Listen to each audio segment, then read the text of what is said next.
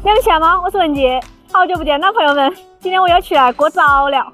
今天我要去吃一个重庆的美食藏在老杭州里的。走。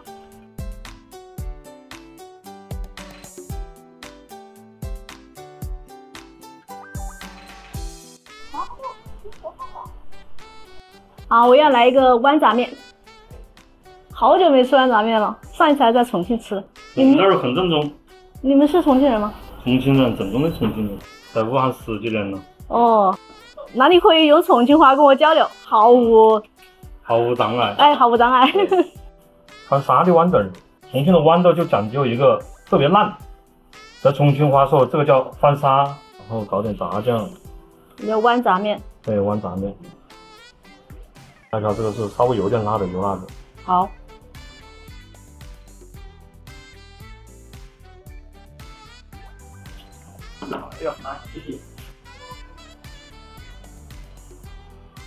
那我也来两个包子吧。好，我给他四个，四个。四个包子去吧。去了，去不完你去。接下来吃第一道的重庆风味的豌杂面，重庆小面，重庆人造的。这面的分量真的是好多呀，这么大一碗。上次去的时候还在重庆呢。一直念念不忘。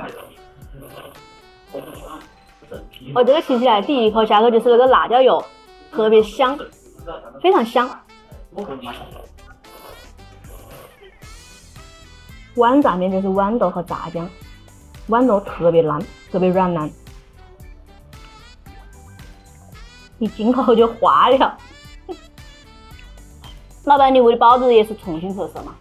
是啊，所以说我们叫千里包嘛。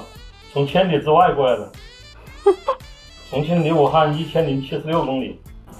我们这边包子跟那个武汉的包子还不太一样，特别是鲜肉。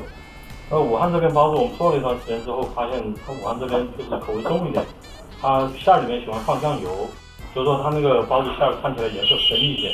我们那边的包子主要是讲究一个鲜味，呃，放酱油放的少，但是味道它不差，很鲜的。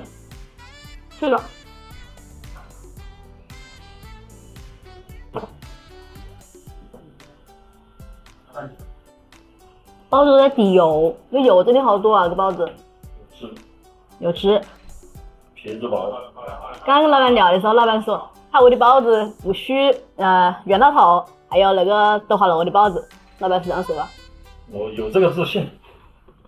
用重庆话说，这就是巴适，是吧？嗯，巴适，巴。武汉话叫听了坨。